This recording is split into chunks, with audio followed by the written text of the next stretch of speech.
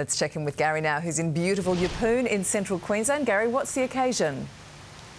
Melissa, it's the premier event of the year. It's the Food and Wine, well, Capricorn Food and Wine Festival. Uh, it's hosted by the Mercure Capricorn Resort. Officially kicks off tomorrow night with a, a, bit of a cocktail party. It runs right across the weekend, and I'm told eight to nine thousand people are expected. It's just about sold out already, and understandable with celebrity chefs like uh, Matt Golinski, uh, Ben O'Donoghue, and David Pugh cooking up a storm across the weekend. In fact, the barbie's being fired up at the moment. Hope to have a bit of a taste test once we get into the weather. But beautiful day in Yeppoon, a magic day in Brisbane. I'll have your Friday forecast a little later.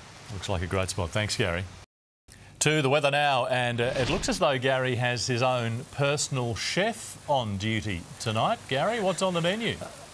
I do, Lofty. This is Murray cooking up a storm. We've got salmon, prawns, barramundi, uh, beautiful Wagyu beef, and I think Murray's cooking that big fat piece of steak for Howie, our cameraman. He's been uh, dribbling over the last few minutes. Look, the lucky people that are heading to the uh, Capricorn Food and Wine Festival over the weekend, unfortunately, it's just about sold out. So if you miss out this year, make sure you put it in the diary for next year. It Kicks off tomorrow evening and runs right across the weekend, and the weather is looking sensational. It was a great day in Brisbane today as well as we check the temperatures across the southeast for you. Uh, a comfortable 27 degrees in Brisbane today and pretty much most of the suburbs across the southeast. Not quite as warm on the Gold Coast, just feeling that sea breeze. Well, here in Yeppoon we hit 26 degrees. Now the weather map, a large high will strengthen as it moves east, directing moist onshore winds and showers over Tassie, northeast New South Wales and southeast Queensland. To the capitals tomorrow, a frosty and foggy morning for the nation's capital, minus two to start the day. A few showers in Melbourne, isolated showers for Hobart, cloudy but dry in Alice Springs. Now back into Queensland, very warm across the north and down through the interior.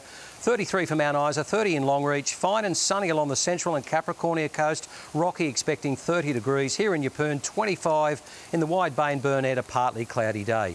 Now in the southeast, a sunny morning, the chance of showers in the afternoon, most likely the evening. There is the chance of a thunderstorm in the south late evening and overnight. The sunny coast 25, the Goldie 24, 27 in Ipswich, Logan 25. Moreton Bay, variable winds 5 to 10 knots, tending northeast 10 to 15 in the middle of the day. Brisbane, a mostly sunny one, just the chance of a late shower, down to 11 overnight, but a top of 26. Now freshening southeasterly winds will deliver a cooler weekend in Brisbane with a few coastal showers Saturday and Sunday. And the good news, we should see some outback rain for the farmers across the weekend. But Melissa Lofty, I know you can hear the meat sizzling. You can see the beautiful meat. I just wish we had smell-o-vision. Yes. Mm, I've got a date yeah. with some Wagyu, I think. I think we need it. Thank you, Gary. Thanks for watching tonight. Good night. Tracy's next. Good night.